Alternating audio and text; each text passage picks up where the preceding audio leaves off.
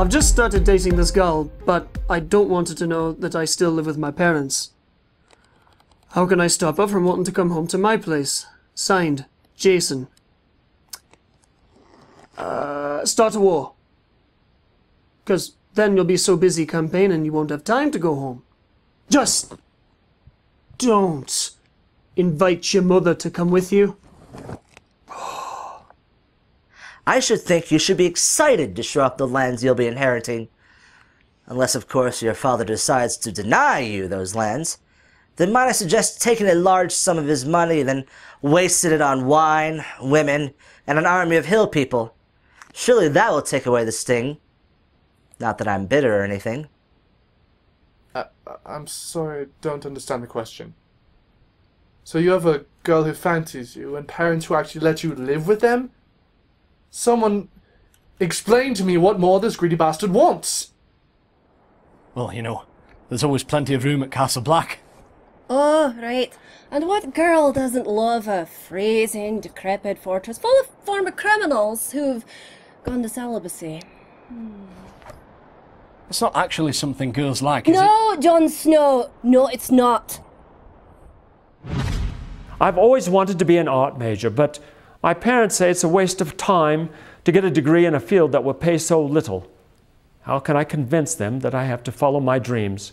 Signed, Tamra. Why do children always have to defy their parents? I don't want to marry the king. I don't want to inherit the family lands. I don't want to get rid of my secret whore. If you'd just do as they asked, you wouldn't be having these problems. Just make art your hobby on the side. For instance, my wife is queen by day and an amateur jar baby artist by night. Actually, the correct term, my king, is artisan baby pickler. You can pickle babies?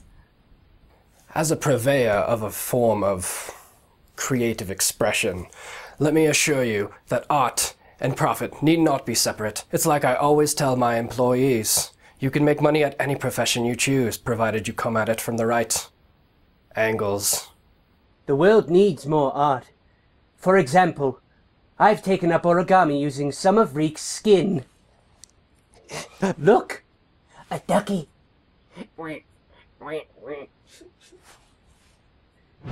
I recently went out with a boy and stayed out too late. My parents are upset because they feel it's inappropriate for a lady of my status and have forbidden me to see him. What should I do? I really like him. Signed, Fiona from the Westerlands. Well, you could always just have a fake marriage to someone your parents approve of, for sure, and keep your boy on the side for when it's convenient for you. Something to add, my lion? Nope. Follow your heart. What could possibly go wrong? Run away with him. Someone who truly loves you will never betray you and will love you always. But if he does betray you, you'll have a moving target to practice on. Generally speaking, if the boy truly loved you, he would have impressed your parents, taken you to a nice dinner, brought you home at a proper hour, therefore making them happy and you happy and wanting to see him more. Oh, sure, he may be a sellsword, chiseled features, gorgeous tan, a fantastic set of abdominal muscles, but, uh, um, if he had done these things, and more importantly, treated you like my Khaleesi, a Khaleesi, a prince, a, a young lady. Yes, uh, that would be better. Oh, well done, well done indeed. Don't worry, because before you know it, your loving father will ship you off to some strange land where you'll be forced to marry some bipedal, half sober bear man who flops around on top of you while yelling a dead woman's name, and you'll be expected to produce many wretched cubs for him. But it's not like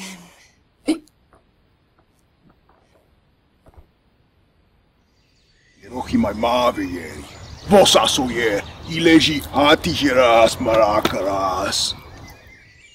You know, the Dothraki might be onto something there.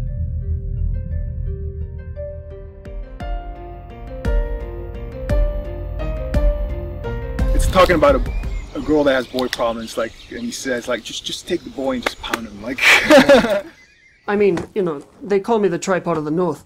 Fleshy ducky, you're the one. Fleshy ducky, you make life lots of fun. That's not my line either.